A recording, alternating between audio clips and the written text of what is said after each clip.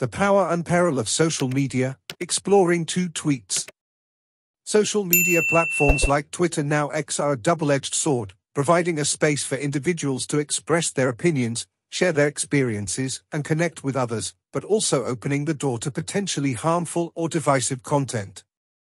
In this article, we delve into two contrasting tweets, one that touches on relationships and financial responsibility and another that takes an unexpected turn with a playful linguistic observation. Tweet 1 Natasha's Relationship Advice Natasha's tweet raises an interesting point about the financial dynamics within romantic relationships. She suggests that if a boyfriend cannot sell some of his properties to provide financial support, it may be a reason to reconsider the relationship. While the tweet's brevity leaves much unsaid, it highlights an important aspect of relationships, financial compatibility. In relationships, financial discussions are often complex and sensitive. Natasha's tweet implies that financial responsibility and support should be a two-way street, with both partners willing to make sacrifices for each other's well-being.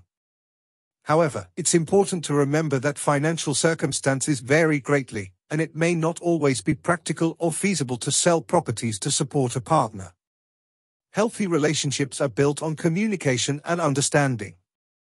Instead of immediately ending a relationship over financial concerns, open and honest conversations about financial goals, expectations, and responsibilities can help both partners find common ground.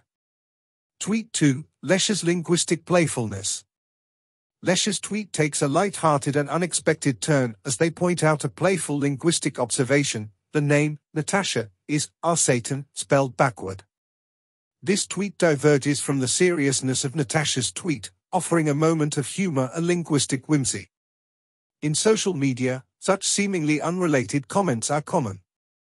They serve as a reminder that the digital world is a vast and diverse space where people express their thoughts, feelings, and creativity in various ways.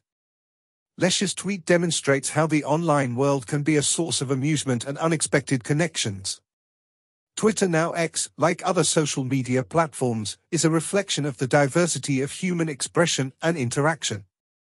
It provides a platform for individuals to share their opinions, offer advice, connect with others, and sometimes, simply engage in playful wordplay. These two tweets, though distinct in tone and content, illustrate the multifaceted nature of online discourse. Natasha's tweet touches on relationship dynamics and financial responsibility, inviting us to consider the complexities of love and money. Meanwhile, Lesha's tweet reminds us that even in serious and often divisive online spaces, there's room for humor and creativity. Together, they demonstrate that social media can be both a source of insight and entertainment, offering a window into the diverse thoughts and personalities of its users.